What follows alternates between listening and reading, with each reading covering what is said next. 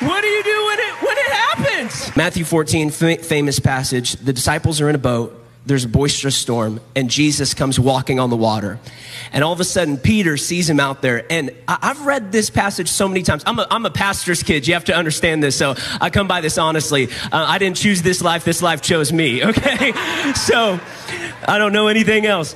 Um, so I've read this passage, and I remember I read it recently, and I, I could have sworn, I could have sworn that it was Jesus who asked Peter to come on the water, but then I realized it was Peter's idea. Walk, Peter walking on the water was Peter's idea. It wasn't Jesus. Jesus simply said, Come. So, in a sense, it was Peter's prayer request to walk on the water. And all Jesus did was say, I'll make it happen.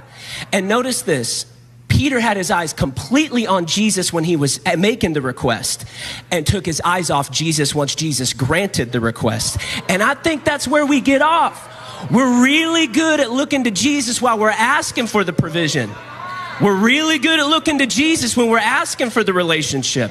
We're really good at looking to Jesus when we're praying for the ministry to take off. But what about once it does? What do you do when it when it happens? You got to stay focused on the one who started it all.